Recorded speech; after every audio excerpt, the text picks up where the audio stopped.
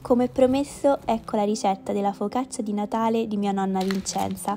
Lei la preparava sempre tutti i Natali e finalmente ho ritrovato la sua ricetta, quindi non vedevo l'ora di farla e condividere il video. Io ho fatto metà dose e viene una focaccia super alta, sofficissima e perfetta da farcire a piacere con quello che più vi piace.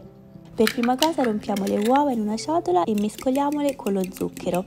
A questo punto uniamo il latte tiepido, continuiamo a mescolare e aggiungiamo una parte della farina, il lievito di birra secco, mescoliamo ancora e uniamo il sale e l'altra farina fino a formare un impasto abbastanza appiccicoso e morbido lasceremo lievitare 3-4 ore in un luogo caldo, poi lo trasferiamo su una teglia ben oliata da circa 30 cm, allarghiamo bene la nostra focaccia e la lasciamo lievitare altri 30-40 minuti, poi la condiamo con olio e sale e la cuociamo in forno.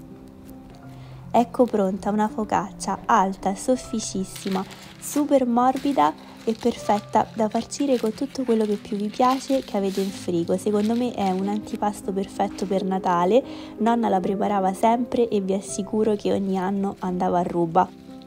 L'unico problema di questa focaccia è che una volta che la iniziate a mangiare non smetterete più.